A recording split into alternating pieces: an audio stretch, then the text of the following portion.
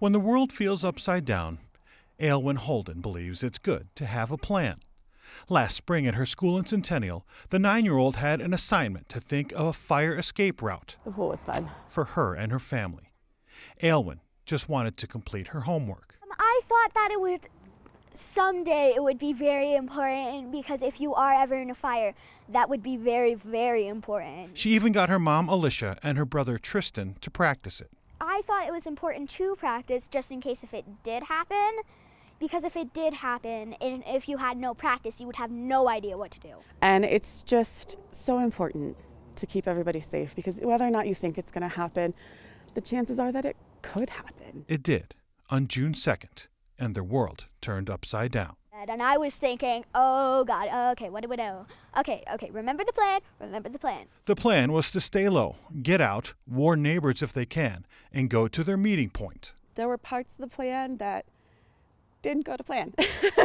Ironically, parts didn't go to plan. But it helped us to organize. It helped us to make sure other people were safe and other people were getting out. This one is my room. This one is my brother's room. Four months later, they're still trying to figure things out. Their home is still in shambles, and life is tough. So there's a lot of stress and worry. And how are we going to get through this?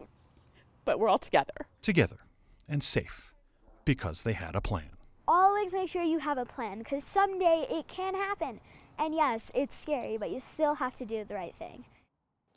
The education program was run through South Metro Fire Rescue and they reward students with coupons for ice cream, free ice cream, if they create a fire escape plan.